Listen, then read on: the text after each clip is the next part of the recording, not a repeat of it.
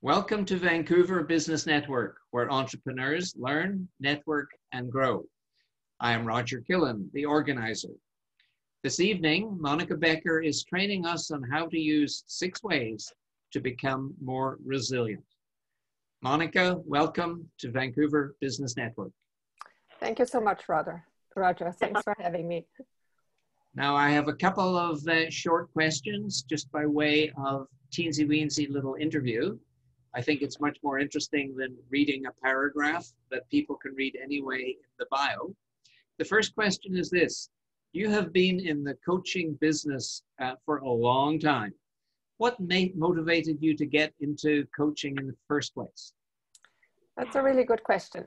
Actually, I used to work as a corporate coach at my last employment where I was a team lead and I really, really enjoyed the work with my um, my teammates who I was coaching. That was I was working in a call center at the time, and I coached half of our um, team in this call center. And I was also their trainer and a resource for them throughout their day-to-day activities. And when the company had to lay me off, I then was challenged with, okay, what what is going to happen for me now? And that's when actually the coaching kind of called me because I had really enjoyed it in that employment situation. And I just made it my my profession ever since, and that's 11 years ago now. Wow. Well, I think I've known you for about certainly a decade. yeah. And I, all the time I've known you, you have been running your own business. Mm-hmm. So you must have learned an awful lot. Uh, could you share with us simply one tip that you would give a startup business owner?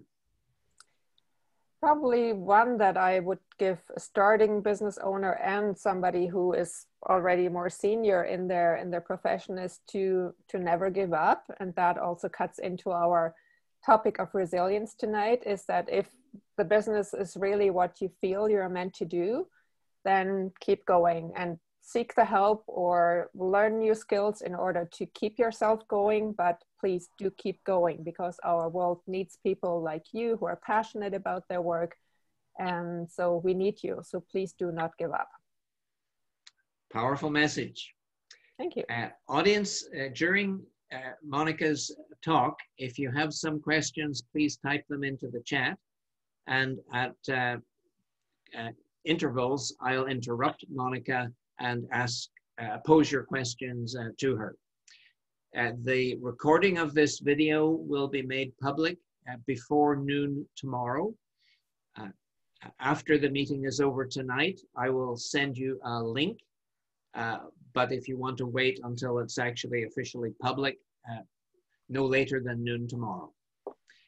Monika, are you ready to take and rock the stage? I am. She's all yours. Take it away. Okay. Thank you so much.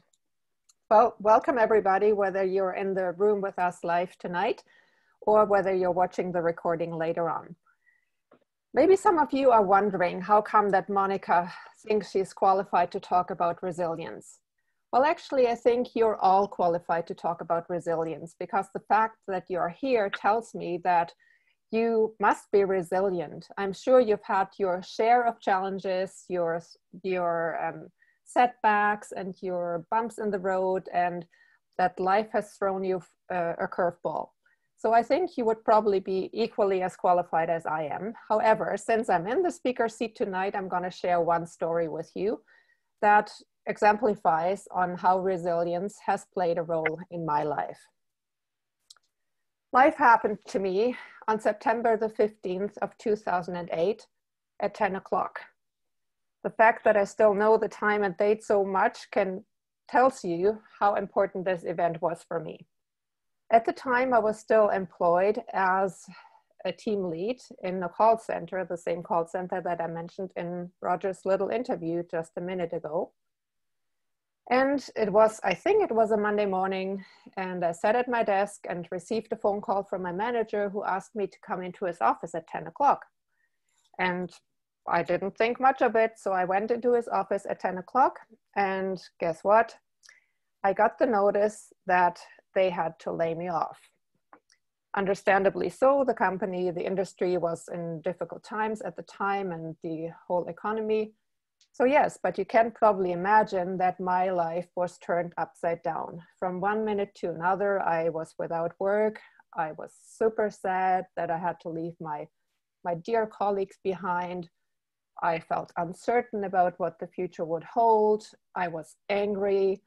I had all these kinds of emotions and I was, yeah, totally like thrown for a loop and I didn't know what would be next despite all these mixed feelings and my probably not feeling that confident in as a person and really harboring lots of uncertainty and all these mixed emotions i had one thing going for me and that was that i had a positive attitude i remember to the day that when i came out of that office and other people had received their notices as well where people were crying right, left, and center, and we were hugging and just shaking our heads. And I was saying to almost everybody, it's going to be okay. I'm going to be fine, and you will be fine. We'll make it through this.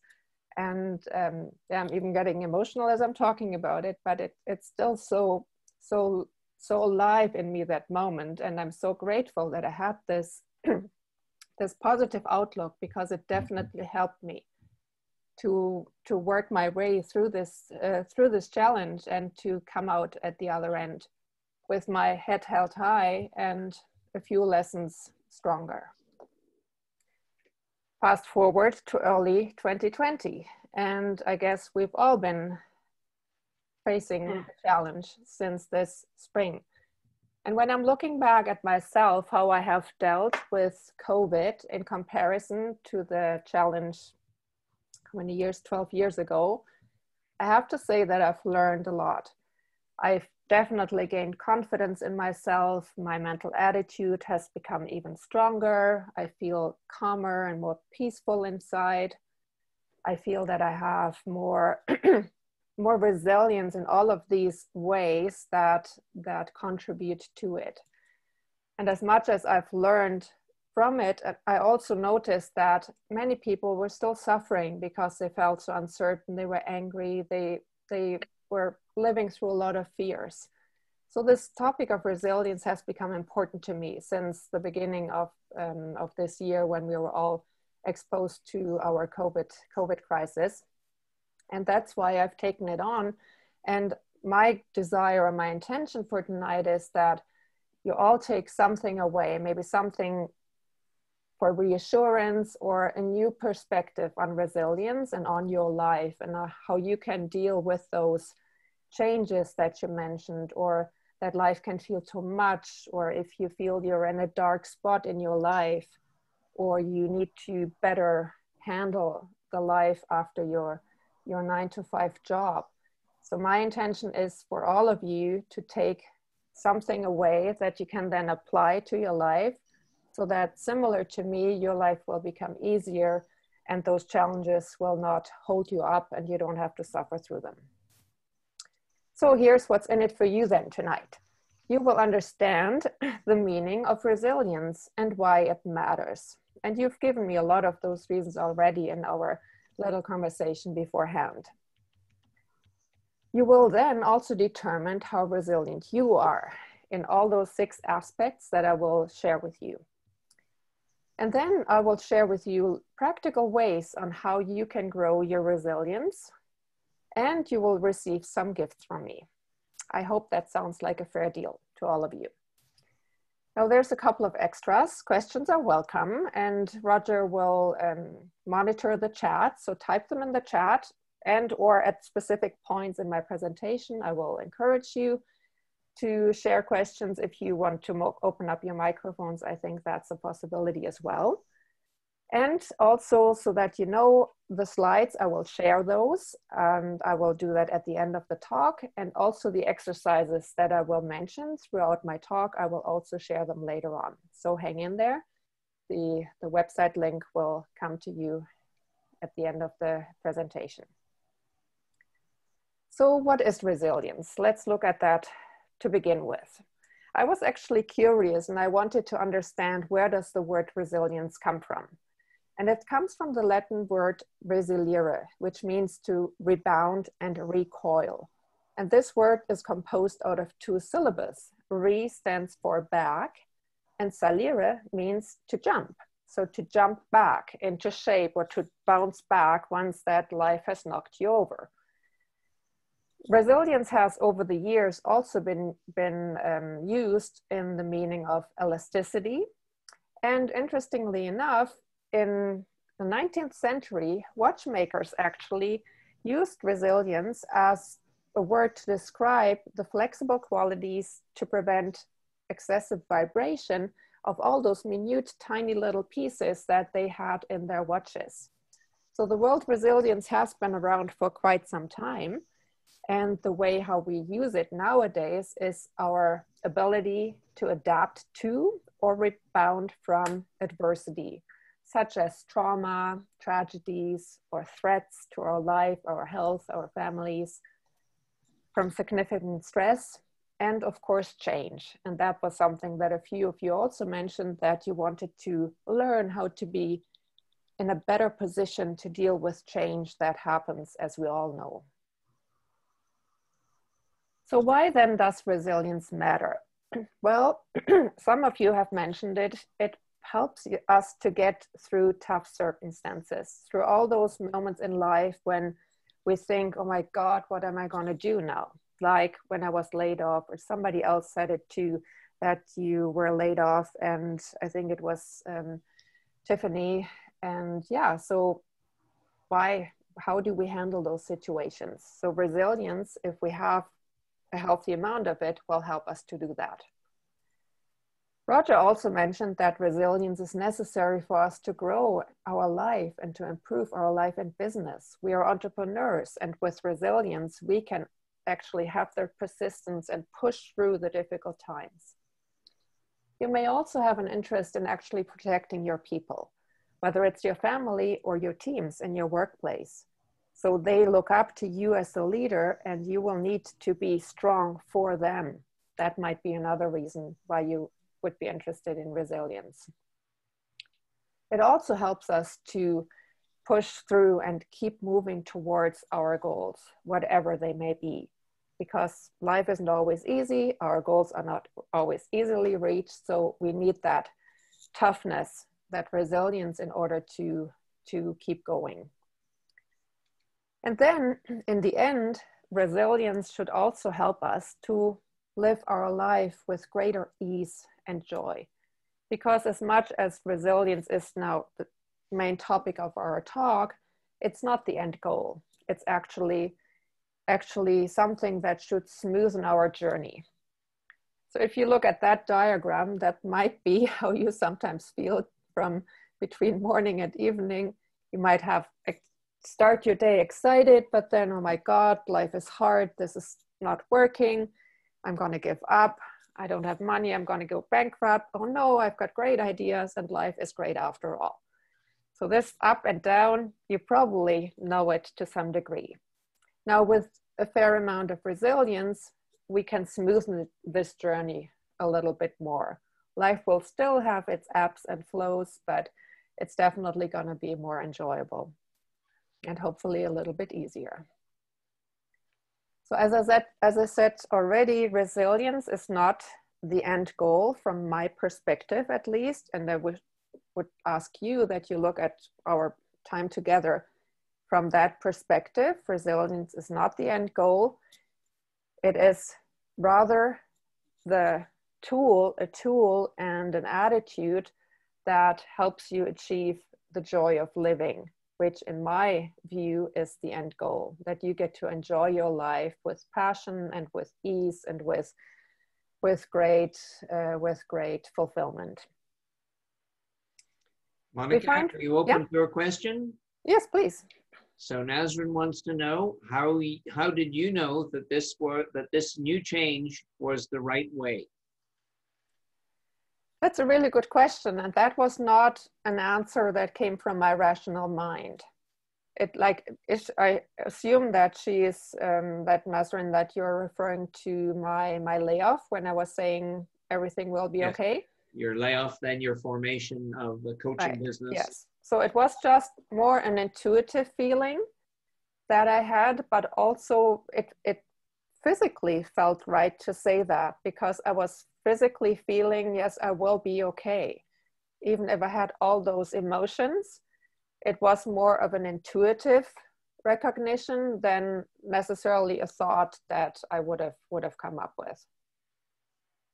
If that makes sense, it was just kind of like an intuitive knowing. Was that the only question? That's the only question, yes. Okay, perfect. Nazrin says thank you. You're welcome. Yeah, so here's an example of resilience in nature, and I'm sure you, you've seen something similar like that. Like this tree is not being stopped by big rocks in its way. It just stretches out its root in roots in other ways, and it keeps going. And this is actually a tree on one of my favorite trails, so I know how big this tree is. It has definitely not given up or even this tiny little guy. There's probably a tiny little bit of earth on this rotten stump and it keeps growing and spreading its, spreading its light. A couple of examples of really resilient humans. Stephen Hawking, he was diagnosed with ALS at his uh, age of 21. And after that, he just put his whole life, through his whole life, into his research and he has written 15 books while his health situation was degrading. And um, so he just was so determined to not let his life go to waste, but to finish his PhD and to add, to add um, his knowledge to, to the world for our benefit. Somebody else that you might be familiar with, another example epitome of resilience is Nelson Mandela, who says that the greatest glory in living is not in falling, but in rising every time we fall. And he has the right to say that, or he, not the right to say, but he has his own experience after 27 years in prison. I guess it takes one resilient mind to come out of that kind of an experience as healthy as he as he did. So, what are a few characteristics of resilient humans? They learn how to cope and adapt. They are eager to, not necessarily eager, but they're able to go with what life throws at them and just make lemons, lemonade out of, out of lemons. And they also realize that bad times or hard times are temporary and that there is light at the end of the tunnel, even if right now they cannot necessarily see it. But it's similar to myself in that situation of the layoff, that I kind of like, I knew that this is not going to last. And resilient people also don't let themselves get defined by their challenges, by the adversity that they're facing. They know to separate themselves, their true self, from the situation out there that poses a challenge for them. So they don't think that they are the challenge or that they are kind of like married with it. They see things as, as separate, which is an important attitude to have in order to distance oneself from the issue. Resilient humans also develop a sense of mastery. They take control over the situation as much as they can and they work their way through it in a diligent and, and, and um, powerful way. Another point that I find is important is that as a resilient, or when we grow our resilience, we also grow our ability to not actually um, lash out at other people when when the stress gets too high or to get aggressive but to really stay calm and as peaceful as we possibly can even even under stress. And that i think really characterizes um, a, a resilient person in those in those details. So now i would like for you to actually rate yourself right now as you are on a scale of one to 10, with one being very low resilience and 10 being you're an expert at it. Like you don't have even an inch of room to grow resilience anymore because you are already so resilient.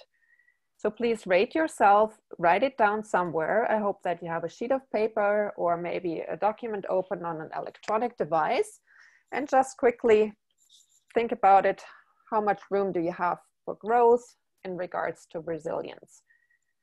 And then we'll, we'll move on from there. You don't have to share it right now, but keep it somewhere where you can where you can actually um, have easy access to it at the end of our, our talk tonight. So now here is the assessment that I will be leading you through of the six aspects that I personally think are important for resilience. This is not all encompassing, but those are six aspects that I think are important if we want to grow our resilience. So for, I'll lead you through all six of them. So don't score yourself right now. Please always wait until I have given you some explanation of what I mean by these different aspects. If you are an expert at it, which means that you're really, really high up there in your ability or in, in that particular aspect, you could give yourself a score of nine or 10. And if you have a colorful marker, then you could mark this particular area aspect with a green dot. A yellow would mean that you're doing quite okay in this area. It can range as a score, it can range between three and eight. And a rookie would be somebody who is just starting to develop that attribute. And that would then be a color red and you would give yourself a score of one to two.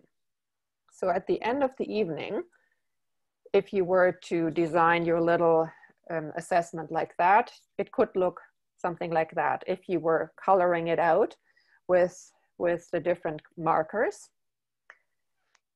And I definitely want for you to write down the scores. Whether you also color the dots or not, it doesn't matter, or whether you just write down a list I for sure want for you to always write down how you how you rate yourself.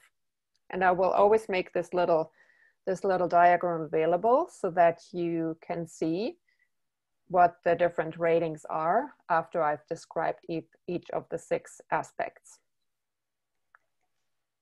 Okay, so as I said, just to repeat it, so don't, don't uh, get ahead of me, just wait until I've described the different aspects and then I'll give you uh, the green light to actually score yourself. Does that make sense so far? Any, any, just any questions about the assessment? None in the chat. Okay. And I'll just keep going and as questions come up, just jot them, jot them down and then we'll, we'll take it from there. So the first aspect that I'm talking about is clarity. And what I mean by clarity, and if you are an expert in clarity, you know who you are and you don't and you know who you are not. So you have a real true and strong sense of self that is kind of like unshakable. You know what your values are and your guiding principles in life, and you also live by them. So you're crystal clear about what matters to you and how to live according to those values. You also have a sense of direction for your life if you are an expert in this particular clarity aspect. So you know what your life is about and you know where you're headed, headed and you're never second guessing yourself. Also when it comes to decision making, this is something that comes easy to you because you have your certainty of your values. So decision making actually is easy for you and you don't second guess yourself because you know that your decision has been rooted in something that is true to you. So there's no second guessing going on. Sorry. So this is kind of like what describes a person who is really, really good in this particular aspect. On the other side, if you're a rookie at it, you're uncertain about yourself, you don't really know what matters to you and what your life is all about, and you doubt yourself a lot, you don't really know who you are most of the days, and it's like you feel really uncertain in your life. So, what I would like you to do now is actually to rate yourself. So, where do you think you fit on that scale of one to 10, with nine and 10 being an expert, three to eight being okay, and one to two being a rookie. So then please write that down and keep it to yourself until we come to a later part. Questions? Roger will probably interrupt me when there are any. Yeah, no questions. Okay, cool. Great. So then, here are some ways for you to improve clarity in case that this is an area where you feel, oh, actually, you know what? Yes, I think I can I can grow and learn a little bit more in this particular area. So one thing that I personally find super important is to identify and then also to live by your values.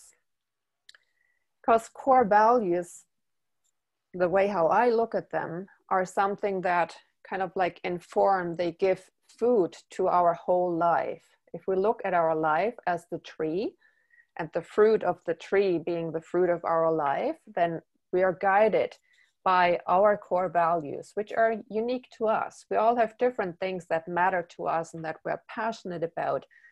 But it's important to have those things because those values, because when it comes to tough times and we need to make decisions or we need to put our foot down, it's important to know who we are. Otherwise, life will just knock us over and then we have to scramble up scramble up and and brush ourselves off and get going again. It's so much easier to live through life and through difficulties if we know who we are and what we stand for. So identifying your values is is an important aspect of growing your clarity and your resilience. One of the exercises that i will share with you is the peak experience exercise and another other one is called Clarify Your Values exercise.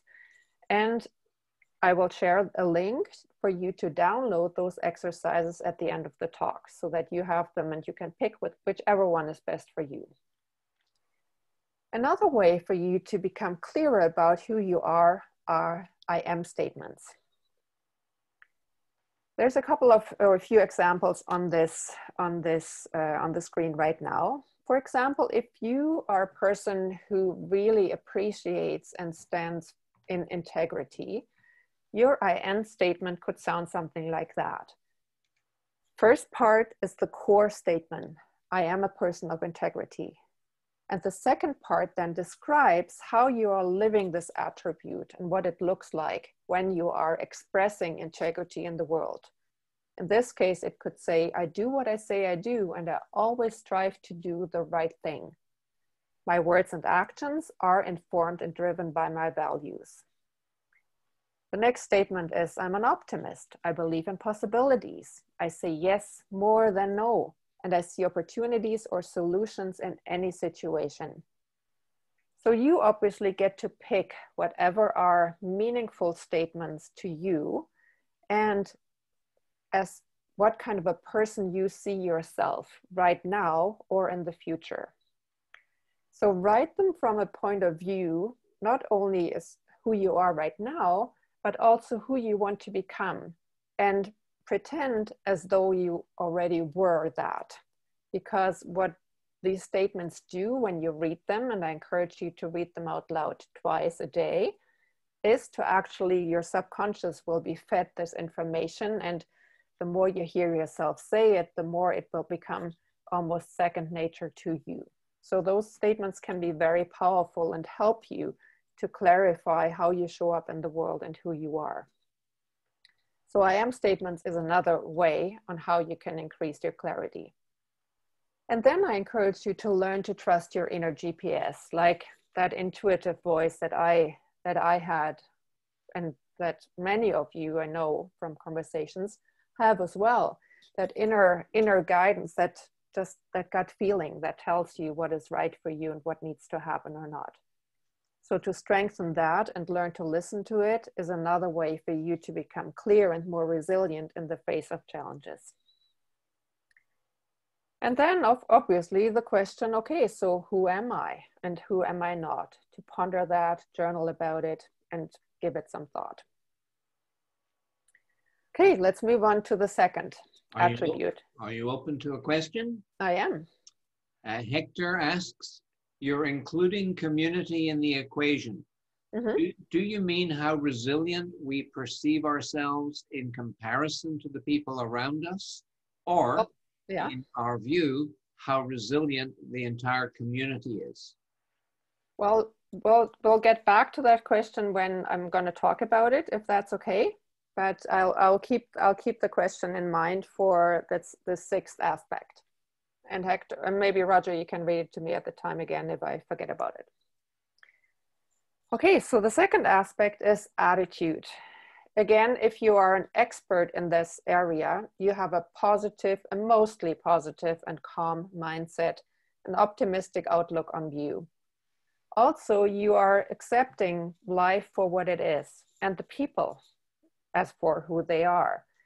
You are not resisting life. You're not resisting people. You're not constantly criticizing how life is or how people are but you go with the ebb and the flow and you are at ease with what life is and how people show up in in life. You also probably have patience for things to develop in whichever way they need and want to develop rather than pushing forward. Another thing is that you accept yourself and the feelings that come up for you and for other people in life.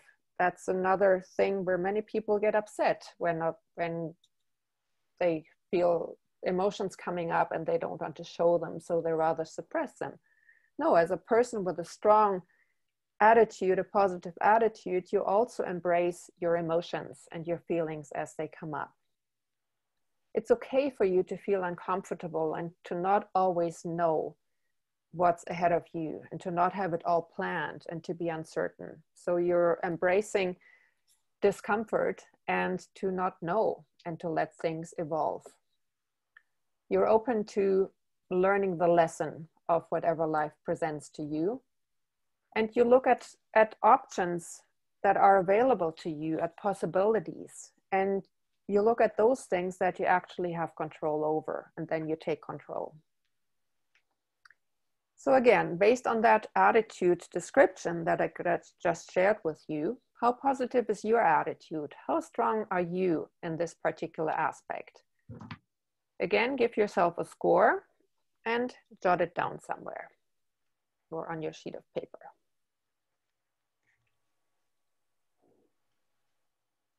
Now, here are a few things on how you can improve your attitude. Stop the three C's. And C stands for complaining, comparing, and criticizing. So if you if you stop complaining, you accept life more as it is. If you stop comparing, you don't put yourself or other people down, rather take yourself and other people as they are and criticizing a similar thing. Like you don't need to blame life for your circumstances or other people or the traffic or whatever it may be, but just come more to a place of ease and flow with whatever is in front of you or around you. Practice gratitude. And an attitude of appreciation does wonders to your mental strength and your positive attitude with which you can then face any kind of adversities or difficulties that that you're seeing. Stay focused on the solutions on the positive the things that you can change rather than the issues and the and the problems.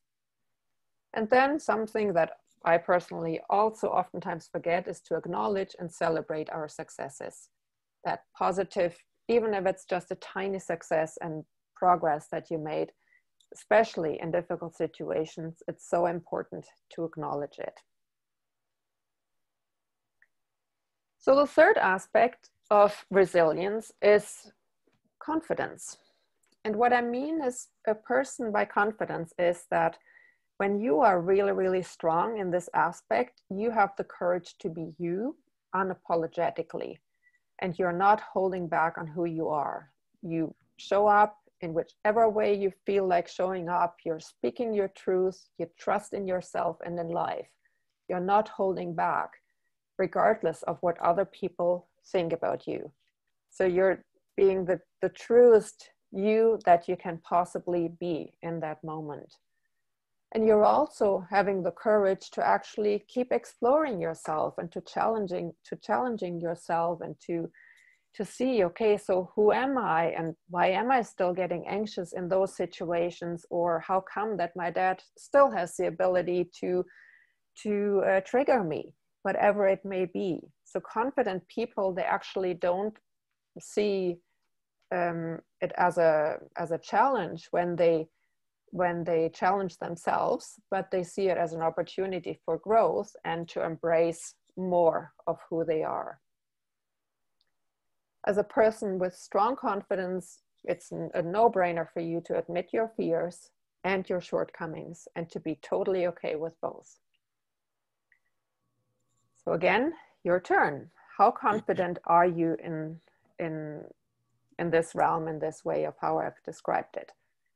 Are you a green, a yellow, or a red, an expert, okay, or a rookie?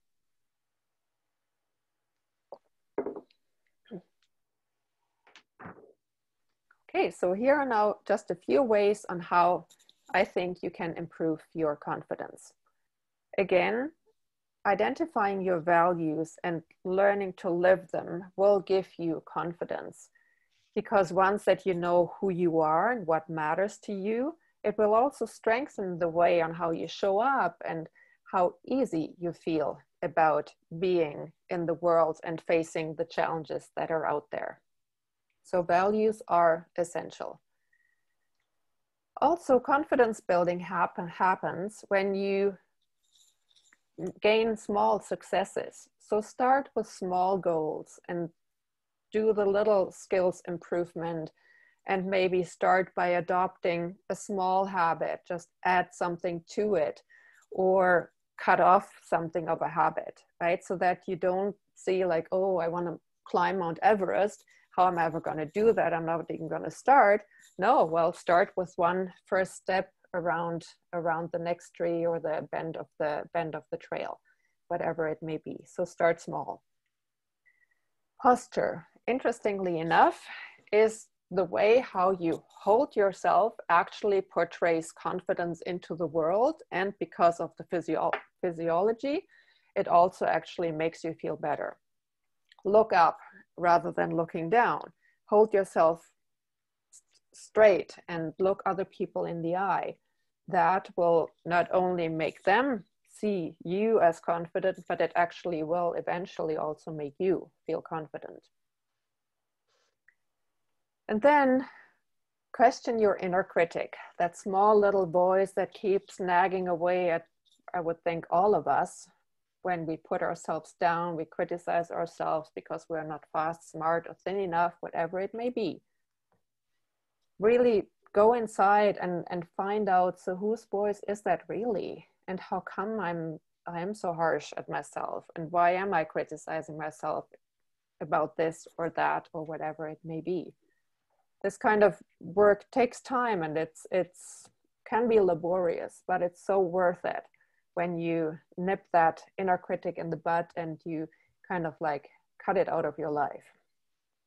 Just trust me, I speak from experience and I'm still talking to it. And then, yeah, part of that is to really get to know yourself and to identify who who are you, what what matters to you, what is it that triggers your emotions, and how come how come that certain things upset you, and and whatever it may be. But with that kind of inner work that I've also done over the last few years, it has been a huge contributor or a huge contribution to me feeling so much more confident and calm, even in the face of a pandemic or other other challenges that that are definitely also in my life. Monika, two questions. Yes, please. Uh, with regards to getting to know yourself, Mm-hmm. Question is one word, how? okay. And the second question, uh, would you like me to read this to you? It's a long yes. one. Yeah. It's from uh, Doug Setter. What about the physical health aspects? Generally, people who eat, sleep, and exercise will tend to be more resilient than those with poor health. Mm-hmm. Hard, aggressive exercise like tennis sports, weightlifting appear to build a better stress release than, say, golf or lawn bowling.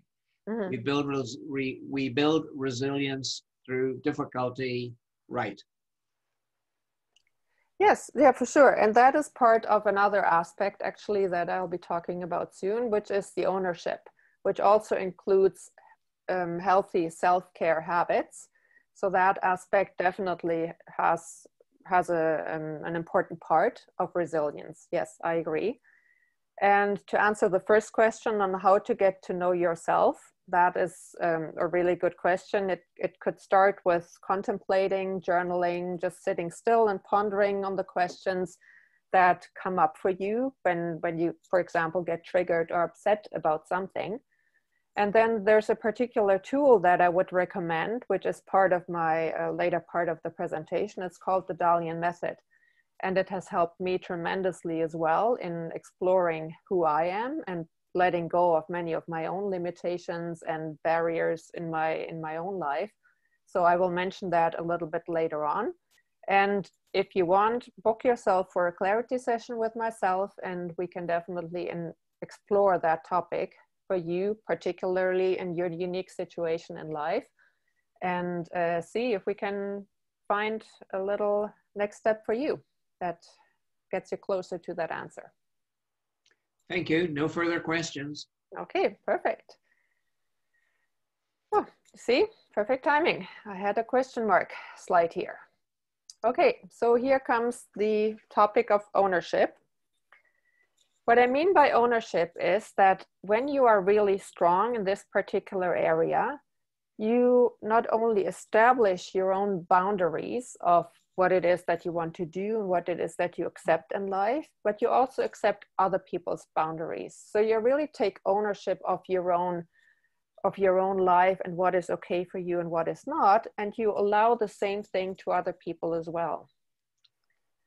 You take responsibility for your life for your actions, which means that if something goes wrong and it was caused by your decision, well, you own up to it. If you did something something wrong or harm to, to another person, you take responsibility for it and you are committed to the people, the projects that you have said yes to. And as a really strong person in this area, because you only say yes to things that are in alignment with your values and who you are, it's also easy for you then to be loyal and to be really committed to, for example, your goals and your purpose in life. And that is an aspect that also helps us to keep going when the going gets tough is that we are loyal and passionate like loyal to and passionate about our businesses, our purpose, whatever, whatever it may be. Another part of ownership is are those self-care habits. And yes, exercise, healthy food, exercising, having rest, having company, whatever it may be. Maybe you're a music fan, whatever it may be, and whatever is possible in your life circumstances. It's necessary to have a good balance between the challenges in life and the nourishing part. And we are responsible for that. So if you are a person that has really good self care habits, that is a strong aspect to make you um, an expert in, in the ownership area of uh, resilience. And in ownership uh, also falls the experience of you actually owning all of, oops, sorry, all of your emotions and to not suppress them, but to actually acknowledge them, to feel them, and to live through them. Because by suppressing, they keep coming up. But if we allow ourselves to feel the grief, like in the moment of layoff, like there was grieving, like both on the parts of my colleagues who were left behind and on my part as I was going. So to allow yourself to feel those emotions and work your way through is a very healthy way of dealing with life's life's challenges, even if it's hard and heartbreaking at times, for sure. Okay, so it's your turn again. So how strong are you in the aspect of ownership as it relates to responsibility, self-care, commitment, give yourself a score, please.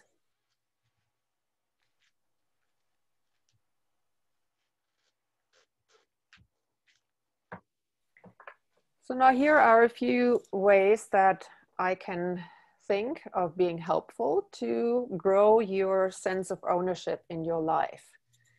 When you identify important goals for yourself and also connect to, okay, so why are these goals actually important to me? It's also easier for you to then take responsibility and take charge and take ownership of those goals and your actions that are related to them. Also, another really good way is to stop the blaming and to stop finding excuses for shortcomings or for, th- for things that we missed. So, no more blaming others is allowed when you're really committed to taking ownership and responsibility for your life. Find yourself an accountability buddy, somebody that you that holds you accountable. It's always so much easier to actually get something done if you promised it to somebody else rather than yourself. I don't know about you, but for me, for sure, whenever I promise something myself, it's much more likely that I'm talking myself out of it. But if I tell a friend or a coach that this is what I'm going to do, I'm much more likely to actually fulfill it and to, to keep my promise. And then again, do a little bit of an inner exploration of your struggles or your discomfort of actually owning up to things and taking responsibility in life. What is it that you're actually struggling with? And uh, yeah, do some some inner quiet, more quiet time explorations to again get to know yourself better, so that you then can overcome whatever is in your way and grow your sense of responsibility and commitment. And then again, start small and build it up from there. Start with, with small commitments and get some momentum from that, from that point. Open to a question? I am. Go ahead. If a person with positive attitude says yes to a challenge, mm-hmm. but is not able to achieve it, mm-hmm. does that mean he is not taking ownership of his commitment? Ideally in a in a situation in a live conversation i would love to ask you a question back but i'm gonna gonna answer the question now from my point of view. No in my point of view it does not mean that a person is not committed. When we are setting goals sometimes we just don't achieve them because they might might life life circumstances just work in our in our disadvantage sometimes or make it harder or whatever may be in our way, we don't always achieve our goals, but that does not necessarily mean that we are not committed to them. Like in general, there is kind of like, um, I think a, a, number like if you set your goal at 100% and if you reach 80%, that's a good average overall to actually um, be be satisfied with. But like from the aspect of intention and commitment, personally, I do not think that not reaching a goal at 100% means that the person is not is not committed. No, for sure. But if, if you see that you always stop before reaching a goal, that it is your mental attitude that makes you stop before you reach a goal at 100%, that might be something to explore what it is that's stopping you. But if a person is really giving their all and they just can't get any further for whatever reason, I don't think that that is a lack of commitment. I hope that answered the question. Question from another question. To be resilient, does it mean you need to work extra hard? I think at some point, yes, there is there is some kind of extra effort needed. And I do not believe that it means that we need to struggle. Right? I, I, I think there are there are times where you need to be uncomfortable in order to be more resilient and to work your way through difficulties. But it does not mean that you always have to just slog away and, and work hard. No, I don't I don't think so. That's not my that's not my understanding of it. No further questions. Okay, perfect. So let's carry on. Only eight minutes left. Two more aspects. So, purpose. If you are strong in the aspect of purpose, you have you feel good about you, about your participation in life, and you feel in charge of your life. You have a clear direction, you have goals, goals, and life feels on track for you. You also have a sense of fulfillment and you feel valued and you feel that there is that you are contributing to life in a positive way. You also have a um, the experience of fulfilling your potential here on earth and doing something something good and contributing for me per, the aspect of purpose and potential also includes that you're open to the idea that you're not just your your physical body and your thoughts but that there might be other dimensions like your spiritual self and your your intuitive self and you're probably also open to exploring that and accepting that they are part of your life as well so for the second last time tonight, give yourself a score. So how strong are you in this aspect of purpose, fulfilling your potential and perceiving yourself as a, as a person from a holistic point of view?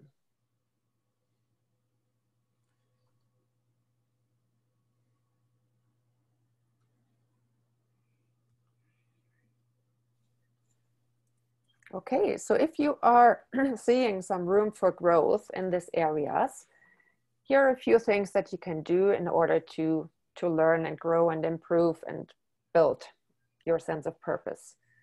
Explore what you love and what is easy for you, what comes easy to you, what you enjoy, what, what you lose yourself in. What is it that you for, forget your dinner about, right? Because you're so immersed in it that you just forget the world and why is it that you love this particular thing or those things? And really learn to follow your heart and your joy rather than duty and fulfilling other people's expectations. There's one exercise in the set of exercises that I'll share with you. It's called the Wheel of Life exercise. It can be helpful for you to actually get a greater sense of purpose. And then there is one which is called Explore Your Purpose, and I recommend that you do that as well. Okay, so this leaves us now with our last aspect, which is the aspect of community. And what I mean by that is, as a person who is strong in this aspect, you build strong personal bonds that are rooted in trust and in mutual trust and equality.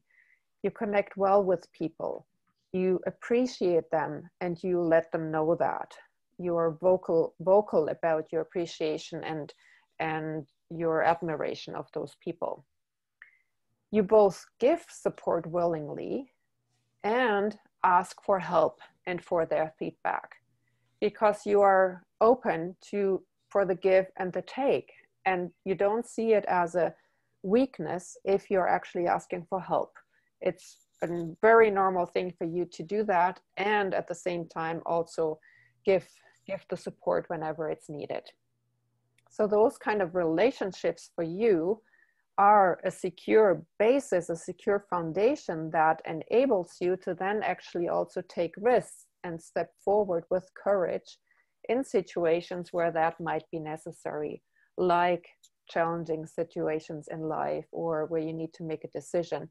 If you're strongly supported by your community, whether that's your family, your friends, or your team at work, it helps you to then go through those difficult times and and be the leader or the person that they look up to and that um, supports them. And roger do you still have that question about uh, community? I don't can't quite remember it right now. Uh, you're including community in the equation do you mean how resilient we perceive ourselves in comparison to the people around us, or in our view, how resilient the entire community is? Mm-hmm. Yeah, so, so and, and that, uh, like, based on that question, so no, I was more looking at community as being an aspect of that, something that makes you resilient. It's not about comparison, more so it's about having community, having a network, network of people that are there to support you and who you can support. So that's how I'm using it in this context. Okay, again, your chance to, to um, rate yourself, please.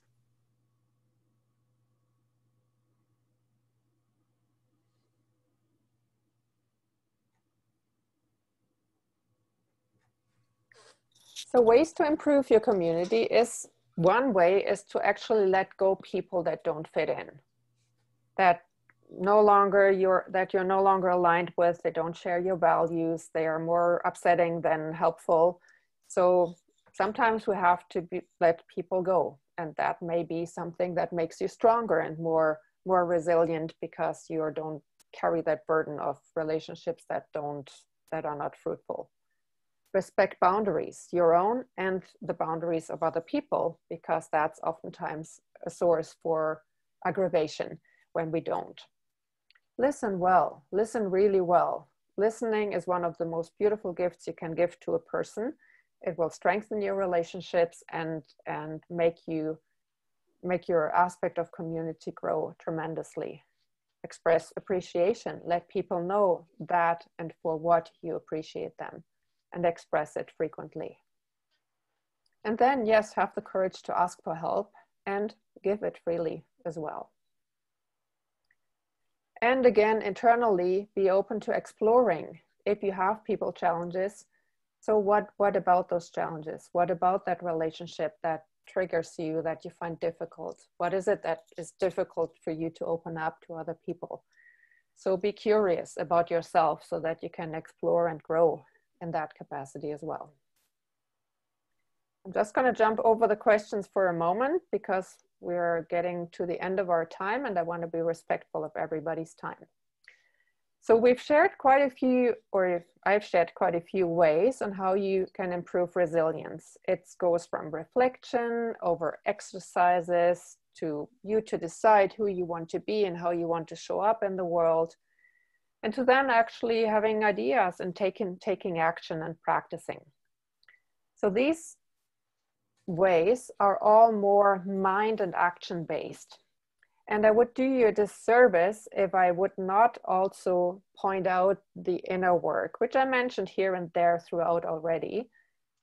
And the particular way that i appreciate a lot and that has helped me over the last few years in particular that helped me to like get to know myself and get rid of many of my own limitations is called the self-healing Dalian method. And in some beautiful ways, it actually addresses all of the six aspects. So it helps us to connect to our inner GPS to become more clear. It gives us perspective on our life and our role in life and how we can approach life with a better attitude it helps us to actually face our inner critic and to explore in order to then become more confident. It also has helped me to take more responsibility for, for my life, to own my own preferences and how I go about life so that I can take greater ownership. It connects me to my pur- purpose or it connects the, the user to their purpose so that they can strengthen their sense of purpose and become more resilient in that way. And for sure, the Dalian method has helped me a lot in my own relationship with myself and with other people as well.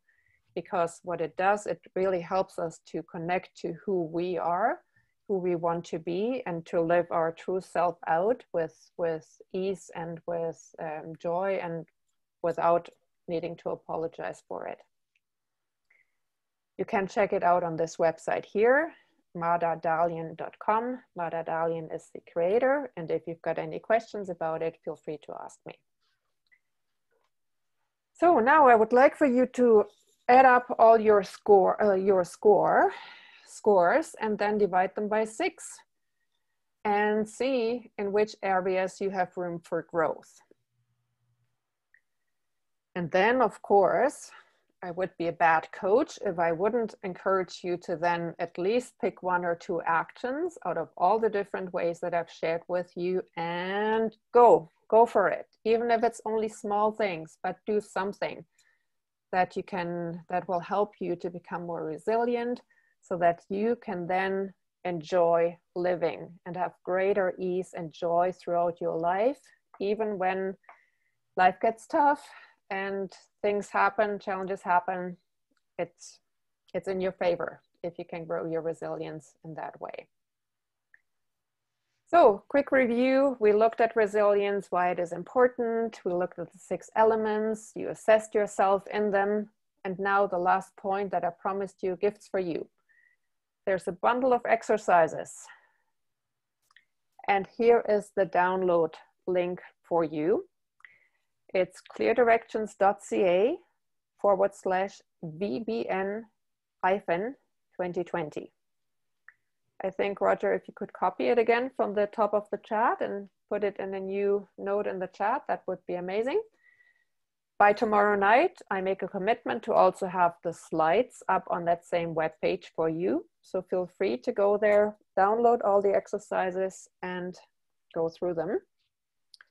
My second gift is a 30 minute clarity session with each and every one of you, if you so choose.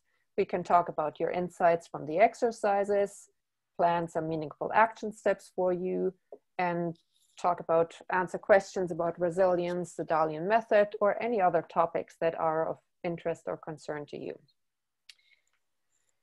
Any final questions? None in the chat. Okay.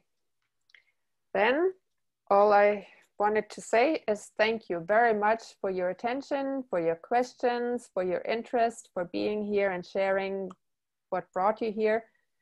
And go forth and become more resilient. And yeah, take action. Thank you so much. Monika, on behalf of VBN, you've opened a whole pile of eyes. Uh, your talk is extremely timely. You delivered it with your normal grace, dignity, and commitment to excellence. Congratulations. Thank uh, you. So I'm now going to uh, conclude the recording, uh, mm -hmm. but, but, don't go away.